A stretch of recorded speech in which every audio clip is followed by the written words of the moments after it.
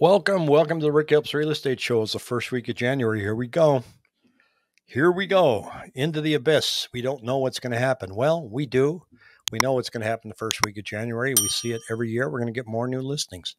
Now, for those of you that are waiting for prices to come down, there's things you're going to have to see before prices come down. If you're thinking of listing, you're going to want a brisk market or you're going to want at least a balanced market because that's a good time to list. If you're an investor, you're going to want the market to be slower than slow so that maybe you can find a deal. So let's take a look and see what's going on right now. And the first thing that happens is it's easy to predict January and February when it comes to new listings because they always go up. See that? So I can say, guess what? We're going to have more new listings in January. Yay, Rick was right. Well, they always go down in November, December. So they're just rebounding from where they were. And there'll be more because uh, January is usually when people decide they want to put their homes on the market. So what am I going to look at? I'm going to see if listings under contract follow those new listings. In other words, I check this on the seven day moving average here, and I can see that the blue line is new listings, and the black line down here it's a number going under contract. So this one's going to lag a little bit. People put their homes on the market yesterday. So that's what this spike was. But it doesn't mean that anybody went out yesterday and wrote a contract. So I want to watch this and see if it starts following along. And it's the gap between the two that's going to give me a sense of direction on pricing. So stay tuned to that. That's what we really want to watch. Now, there are agents out there telling you right now that it's going to be busy, that rates have gone down, and here they come. And if you don't buy now, um, you're going to be standing in line waiting to buy a house in spring. I'm not in that camp until I start seeing some numbers that say that that's going to happen. Because even though if you're a buyer, there was some good news on interest rates past couple weeks, it wasn't great. I mean, it was a pretty good move, but you know, affordability really hasn't changed. So there isn't any monumental change in the market that says that buyers are going to come out in droves. Will it get a little busier? Yes, simply because it's going to be January and February. So try not to read anything into that. Don't be pushed to make a decision that you're not ready to make yet. So be careful. You know, real estate's a long term game. So you don't really need to play it month by month anyway. But if you're looking for a trend, this is what we're going to look at. This is expired listings. They didn't go nuts. Nothing to report home there right here is a commentary from the Cromford Report talking about we're starting 2024 one of the lowest counts of listings under contract we've ever recorded. We measured 54, 56 last year, this year 51, 27, and 93, 23 in 2022. We're saying we have to go all the way back to 2008 to find a lower number. Interesting. With interest rates much lower than two months ago, we may start to see more accepted contract activity in the next few weeks. We normally get a lot of new listings in January too. Just showed you that. At this stage, it's too early to tell whether supply or demand will grow the fastest. The next three weeks will be very important in establishing which trend is dominant. So, looking at lagging data, looking at November, December is not going to tell you anything about the direction of the market 2024 the next three weeks might. If new listings start coming up and buyers are not following that, well, there you go. It's going to be a little easier for buyers out there.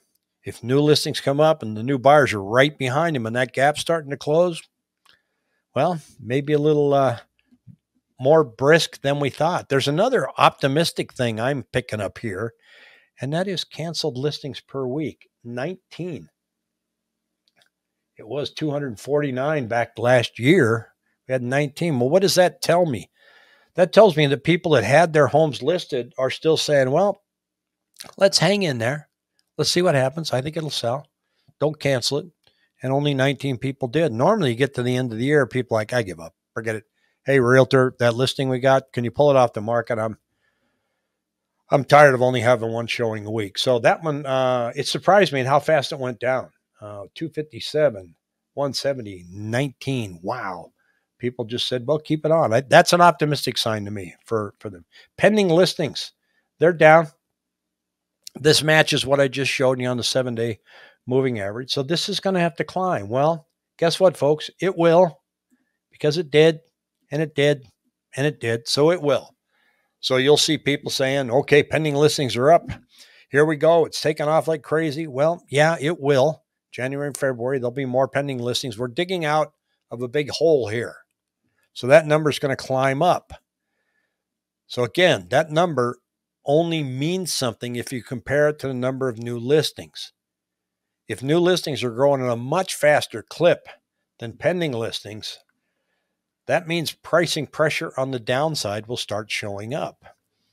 But as it stands right now, it looks like they're kind of following each other closely. Now, we did have a good change in interest rates the past few weeks, but I don't think it's going to create a meteor of activity of prices going up. I don't see the rush to get out there like some agents on YouTube and Facebook have been saying, you know, get out there now in January. I'll tell you what, February and March, whoo boy, you're going to wish you got in January. I, you never have to act that fast except in 2021. 2021 was crazy. That was a year of the beatdown. We've got time, folks. If you look here at the average list price, nothing's changed for a long time. List prices have just stayed there ticked up a little bit. I expect that to tick up in January. That's when the optimism shows up. It's a new year. Yay. Let's go. Time to list the house. Let's go ahead and see what we can get. I expect to see some of that. So that's where we're headed going into the season. What I really want to follow closely, and there's one here that that I'm curious to look at, but I can already make a prediction on it anyway. It's the uh, uh, Cromford Market Index where it changes once a month and it's the measurement of supply and demand. It's this one here where you've heard me talk before that I'm waiting for these lines to cross the blue line above the red line. The blue line, which is um, uh, listings, and then the red line is demand. I expect those to cross when this comes out in the next day or two. So that's finally going to happen. It did happen here, but then it turned around and came down. Went absolutely nuts back here in 2008 listings way up here, demand was way down there.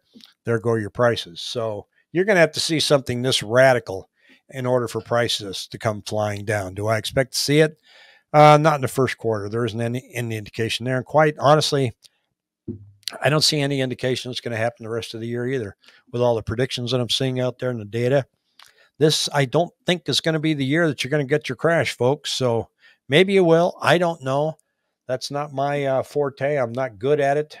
I have lost a dollar before just trying to guess interest rates. All you can do is look at the current numbers, try to decide what it's telling you, and help you make a decision. So stay tuned. Do me a favor, punch that like button. Don't forget to subscribe. Thanks.